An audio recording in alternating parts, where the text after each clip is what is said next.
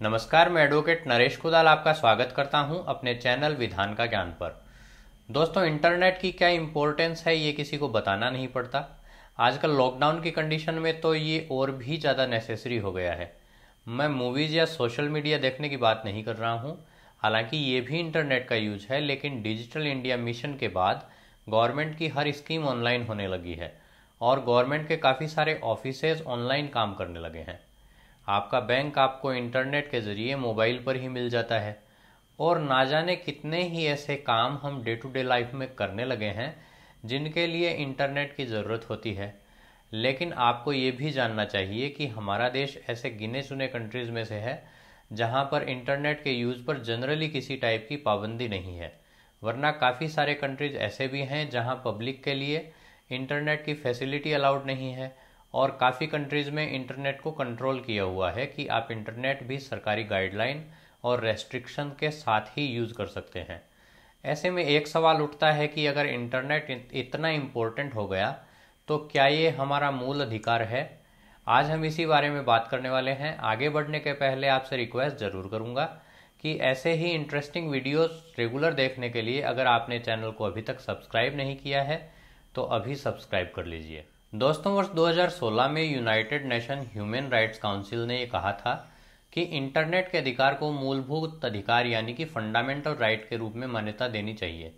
हालाँकि ये कोई इंटरनेशनल कानून नहीं था, बल्कि एक सिफारिश थी, लेकिन इतनी मज़बूत इंटरनेशनल बॉडी की सिफारिश के भी अपने मायने होते हैं। इंडिया में हालाँकि हमारी संसद ने ऐसा कोई स्पष्ट कानून तो नहीं बनाया लेकिन वर्ष 2018 में इंटरनेट के यूज़ से रिलेटेड एक मैटर केरल हाई कोर्ट के सामने आया। तो केरल हाई कोर्ट ने देश में सबसे पहले इंटरनेट के यूज़ को मूल अधिकार माना और इसको कॉन्स्टिट्यूशन के आर्टिकल 21 के अंतर्गत मान्यता दी। केरल हाई कोर्ट में जो मामला गया, उसमें फैक्ट ऐसे थे कि कॉलेज के बॉयज़ हॉस्टल में इंटरनेट के लिए कोई पाबंदी नहीं थी, जबकि गर्ल्स हॉस्टल में छः बजे से दस बजे तक इंटरनेट यूज़ करना मना था। तो केरल हाईकोर्ट ने दो बातें कही कि इंटरनेट यूज़ करने का अधिकार मूल अधिकार के अंतर्गत आता है।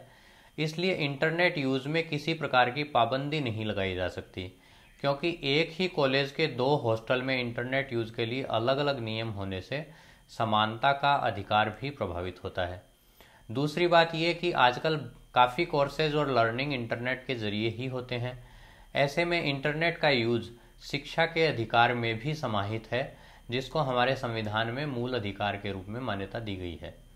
दोस्तों, शिक्षा के अधिकार को भी संविधान में United Nation Human Rights Council की सिफारिश के बाद ही जोड़ा गया था। इसके बाद इंटरनेट यूज़ के संबंध में दूसरा बड़ा केस तब आया जब जम्मू और कश्मीर से आर्टिकल 370 को हटाया गया और फिर सुरक्षा कारणों से वहाँ पर इंटरनेट को बंद कर दिया गया। जम्मू कश्मीर में उस टाइम करीब 213 दिन का इंटरनेट शटडाउन हुआ था। जिस दौरान सुप्रीम कोर्ट में इंटरनेट सर्विसेज़ चालू करवाने के लिए पेटिशन फ़ाइल की गई। उस पेटिशन में सरकार का स्टैंड ये था कि सिक्योरिटी कंसर्न के लिए इंटरनेट की पाबंदी ज़रूरी है।